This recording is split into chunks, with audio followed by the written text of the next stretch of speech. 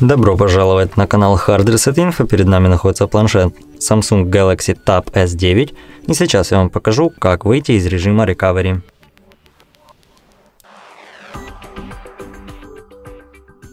Итак, для того, чтобы передвигаться в режиме Recovery, используем кнопку увеличения и уменьшения громкости.